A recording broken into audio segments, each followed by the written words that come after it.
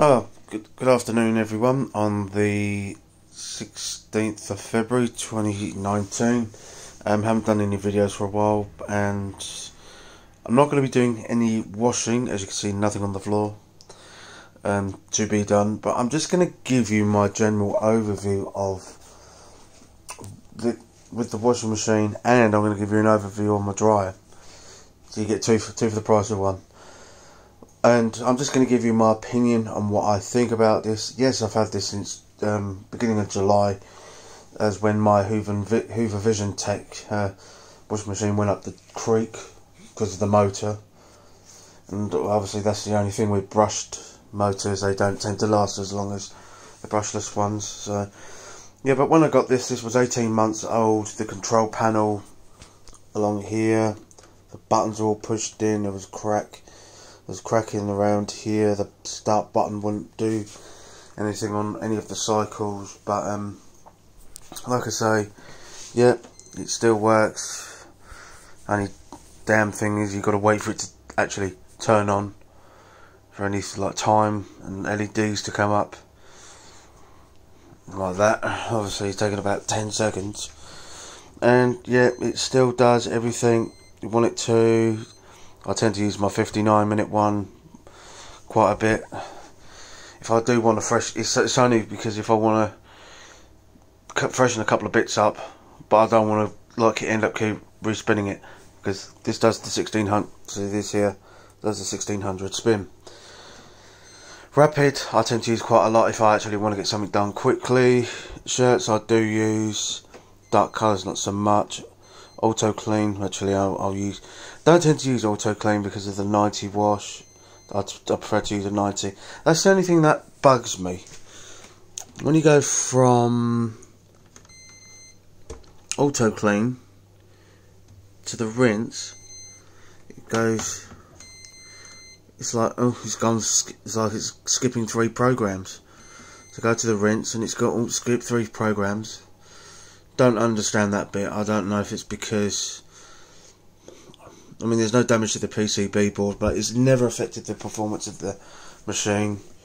So yeah, every time I, I select the cycle, it actually does it. Goes round, and yeah, and obviously there we there we go. Oh, hang on, let me put it back on. I say all of the buttons press.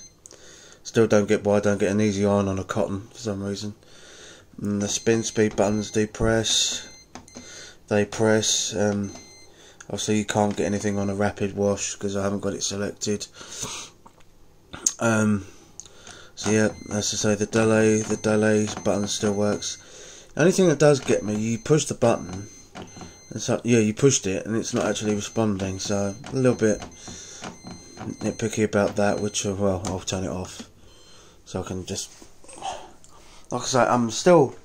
And another thing I'm not happy about is because if there's like too much suds in there, and what happen, um, if it gets really sudsy, too much suds, it does actually, if it goes into a suds lock, it will not try and respin it, it will actually go into a rinse.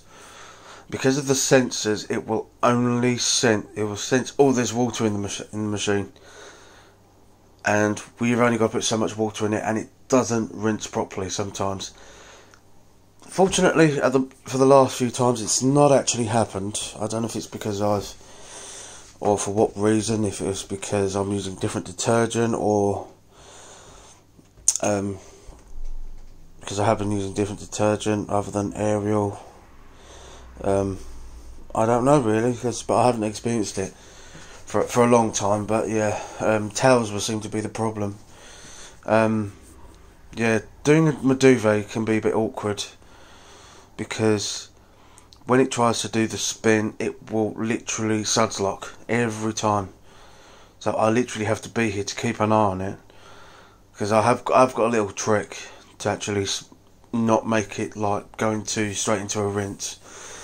But you really don't want to be doing that. You really want to be putting your whatever you've got in there, duvet, pillows, laundry, whatever, you want to go in and you want to go away. That's the whole point.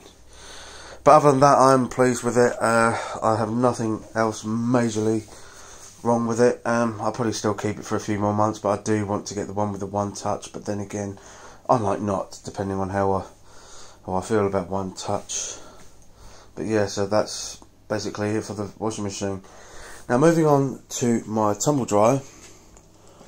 This is one of the more modern tumble dryers. As you can tell, as I said before in my review, in my over is um in my review, not review, I suppose, my overview, because this is a review. yeah, is the um, the One Touch.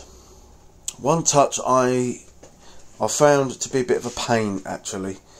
Um, I've now switched my phone to a OnePlus 6T, so so I from a Galaxy S9 Plus. People may think, why have I done that? Because, in my opinion, um, I do prefer OnePlus to a different reason, but that's a whole different that's that's a, that's for another time.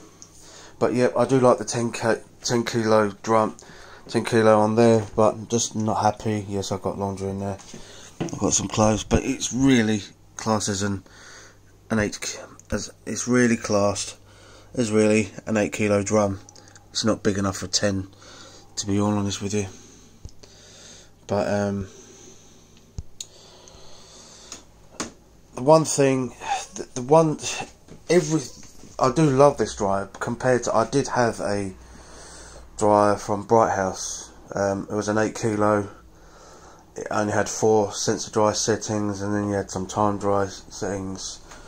It was rubbish. It was absolute rubbish. I put it on all towels, which was supposed to be the bone dry or extra dry setting, and things were still coming out damp. And I had to put it all on again, wasting more electric. This is very more accurate with the um, the sensing. You've got programs. It's not like cupboard. You put it on cupboard dry. You set the dial to hanger dry, whatever. Obviously, when I, obviously when you switch it on, the time does flash. If you've got a sensor thing, if you've got a sensor option, obviously you've got the sensor icons.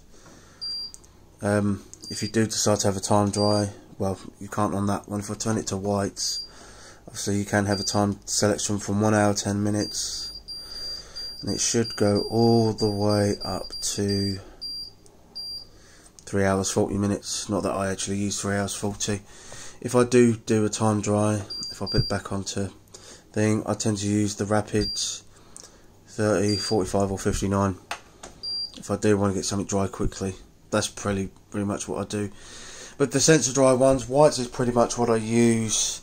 I have used one touch on other programs, but it seems to equate to having a whites program because it comes out with 4 hours 28 minutes.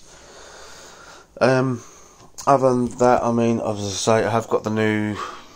Um, so I did have a, a replaced uh, water tank in the door.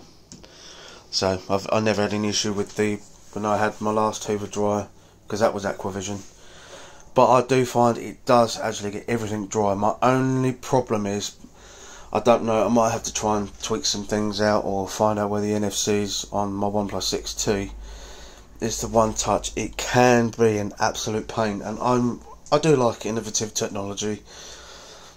The one reason why I wanted to use it is because of the programs that are on here that I do do tend to use. I would tend to use on the app, and also it's got clever care. So if anything so it kind of diagnoses itself and if there's anything wrong so just make sure the machine's in working order but other than that I do actually I do actually like this dryer I've got got no issues with it one small problem is do not use your index fingers apparently it's best to I mean I can use my index finger but they say to use your thumb better really